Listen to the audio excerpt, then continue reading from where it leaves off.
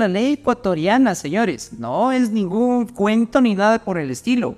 Según la ley ecuatoriana, el artículo 55, numeral 14, expresa lo siguiente. Vehículos eléctricos para uso particular, transporte público y de carga. Se entenderá por vehículos eléctricos a los propulsados únicamente por fuentes de energía eléctrica y cuya carga de batería emplee exclusivamente este tipo de fuente de energía. Además, deberán producir cero emisiones contaminantes directas. En ningún caso se entenderá a los vehículos que cuenten con sistemas de autogeneración con fuente de combustión interna, independientemente de su configuración con vehículos eléctricos. ¿Esto qué quiere decir? pues que este drama del e-Power desde el principio, que nosotros lo comentábamos que era un vehículo híbrido, era porque no había espacio pues, legal. Había un espacio legal. había, había un hueco.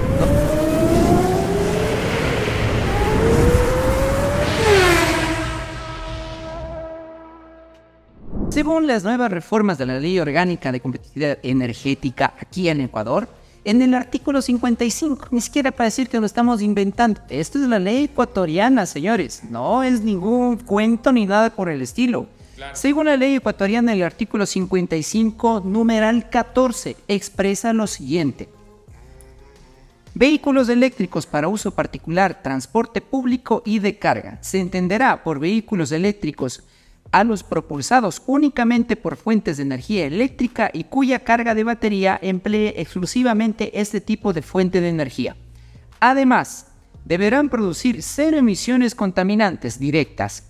En ningún caso se entenderá a los vehículos que cuenten con sistemas de autogeneración con fuente de combustión interna, independientemente de su configuración con vehículos eléctricos.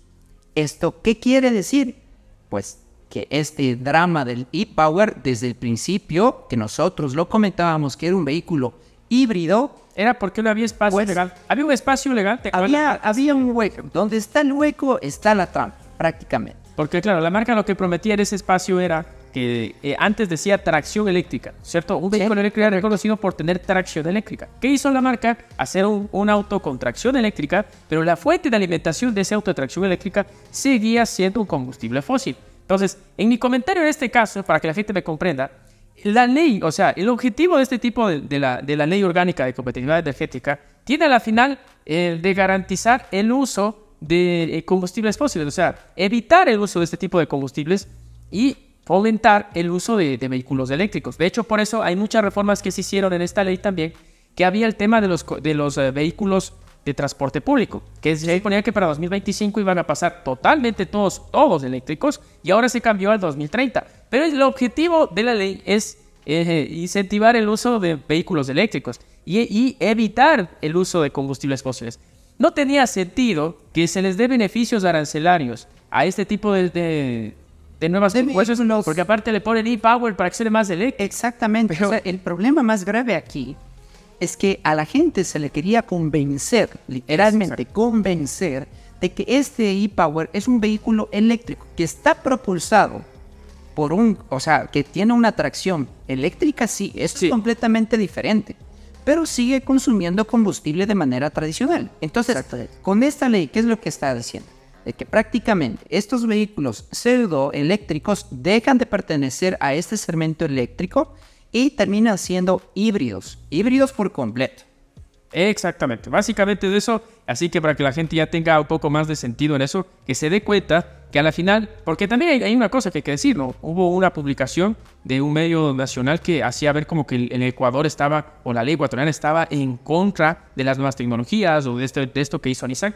Y para mí no es nada eso. Realmente yo creo que el Estado con esto lo que hizo fue poner las cosas de freno y decir, a ver, el, objetivo de esta ley es evitar el uso de combustibles fósiles. ¿A dónde vas? que está bien. ¿A dónde vas, Pato, con ese tipo de cosas? Si sigues te pagar sus beneficios. Es que imagínate cuál es el beneficio, pues el tema arancelario.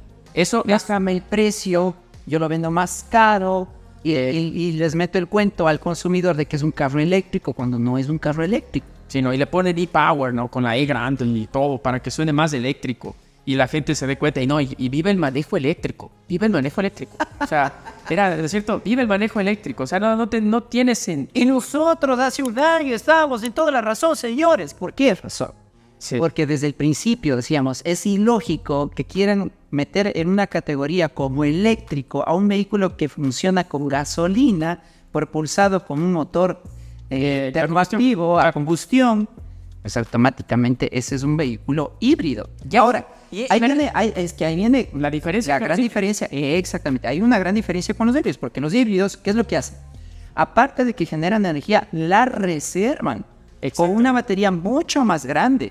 Y tienen, y tienen también la tracción, porque acuérdense que este tipo, por ejemplo, el e-Power, el X-Trail, tiene una batería de 2 kWh, como tú dices, más pequeña, y solo 2 a 3 kilómetros de autonomía. Entonces, tiene una autonomía todavía más baja que la de un híbrido. Sí, o sea, correcto. Y la, y la marca te decía 900 kilómetros de autonomía con un auto eléctrico, pero si son 900 kilómetros que tienes, porque se te, va, se te vació el tanque de la gasolina súper que vas a tener que ponerle este carro. No, y la mentira más grande que te decían que es lo que hicimos del primer video es que te decían que ese tipo de sistemas era porque en Latinoamérica no había una red electrolinera. No había una red. Entonces decían, nosotros venimos a ayudarles porque no tienen ni electrolineras. Entonces hicimos este sistema para que ustedes tengan un carro eléctrico, pero tengan que ponerle gasolina. La gasolina, sí hay, decían. Y, y, había gente en los comentarios que nos decía, pero ¿cómo ustedes se quejan? Y la gasolinera, y hay gasolineras, y es justamente, pero entonces no tiene sentido. Mejor comprémonos un carro a combustión y ahí tiene las gasolineras. O sea, no tiene, no tiene sentido. Yo antes comprendí un poco el sentido de gente que se lo compraba porque decía, bueno, son beneficios que tiene el carro eléctrico, personas que exacto, o sea, y placa, cosas por eso. Primero, primero el poder adquisitivo, porque el carro de por sí no está nada económico. Si es un, un carrito que tiene su costo. Que entre en el tema del pico y placa, pues también era un beneficio mira, ¿sabes qué? Tengo, no, es un carro eléctrico y tranquilamente yo puedo circular en pick y placa. Yo voy a decir, pero solamente para ciertas personas. Ya, ya vamos, ya vamos al tema de beneficios tributarios y ahí vamos a explicar el tema con específicamente. Pero que te vengan a decir, ya con ley en mano, de que ese carro no es un carro eléctrico, qué decepción para el que lo haya comprado. Claro, qué decepción para el que lo haya. Y hubo mucha gente cuando yo saqué el artículo sobre este tema que me ponía, ¿y ahora qué hacemos los que compramos ya no hay, ya no hay pico y placa. ¿Qué pasa con el pico y placa?